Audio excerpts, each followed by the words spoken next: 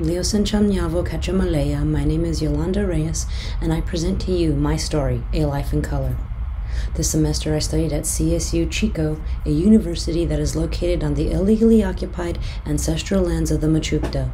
We recognize their distinctive spiritual relationship with this land and acknowledge it as their ancestral home. I am humbled to live, study, and present to you from their sacred land. My story begins with those closest to me, Uheyake Yoemia, my family, which descends from the First Nations Yaqui people. Mala, my mother, Achai, my father, Wai, my sister, Sila, my brother, and Anepo, me. These people have been my supporters, and without them, I wouldn't be here today. In high school, a Achai gave me a book of Nahuatl stories, which had no pictures. This lack of visuals was the catalyst for me to take my art seriously. If our stories lacked illustrations, I knew I could draw and fix this discontinuity. At the age of 22, while attending art school in San Francisco, I was rear ended while working. The L4, L5, and the L5S1 discs pictured in this MRI after my accident show them protruding into my spinal column. For years, I fought workman's compensation for access to treatment. Eventually, I lost feeling and mobility because of the compression of my spinal cord. Waiting for treatment, a dark wave of depression swept into my house and over me. I coped with my deteriorating situation by painting. I used our sacred Tonalpohualli for guidance and inspiration. I found guidance from the personifications, what colonizers refer to as deities, for important dates. I felt like I was stuck in purgatory, the state of suffering for those who die in God's grace but still need to atone for their past sins to go to heaven. The decline in my physical abilities and countless doctor's appointments made me wish I could just remove my lower body. For years, I was prescribed copious amounts of prescriptions to help manage my mental health and pain. Eventually, I found myself living out of my car on Brown Street. Family friends adjacent to Sila on this street provided me access to internet, showers, and some respite. I couch surfed for several years, waiting for my multiple disc replacements to fully heal and to be medically released to work. During August one year, I was sleeping outside with my service dogs. Eventually, the Perseids meteor shower enveloped my vision, and even though I was homeless sleeping outside, I felt had I been comfortably inside a house, I wouldn't have been so blessed with one of the oldest recorded celestial events. In Nahuatl culture, Tepeyollotl's coat is representative of the night sky, and surely I thought he must be watching over me.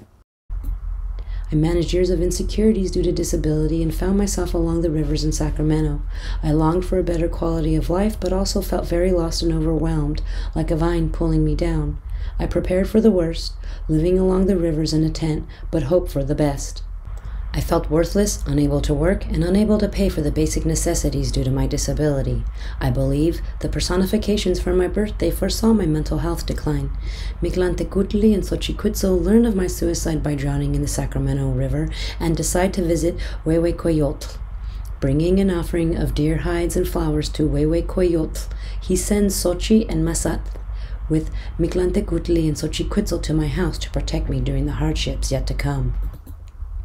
When I told my pain management doctor that I wanted to stop taking morphine, they recommended that I transition to methadone.